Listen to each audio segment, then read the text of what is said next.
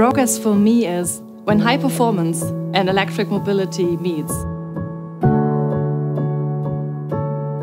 Seeing the final RS model for the first time was really amazing. I really have to say I was speechless when I saw it for the first time. This high performance car, RS e-tron GT, for me is a new dimension of sportiness.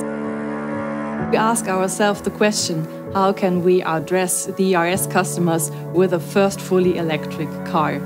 And we had some doubts, and we had people like questioning what is RS in the high performance electric world?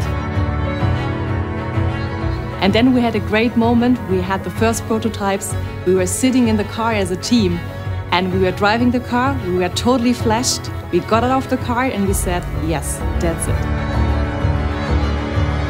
My personal highlight and my so-called goosebump moment is when I'm sitting behind the steering wheel and I'm pushing the pedal. The acceleration is just gorgeous. So you accelerate from 0 to 100 in under 3.5 seconds and this is just amazing.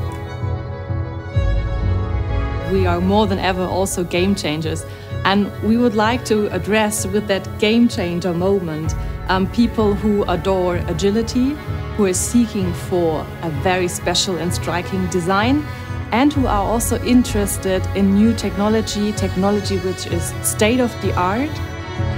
This is something so special for me, being part of that transformation, bringing high performance into electric world.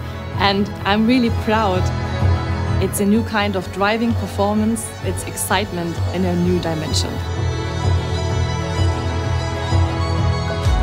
What does progress mean for you?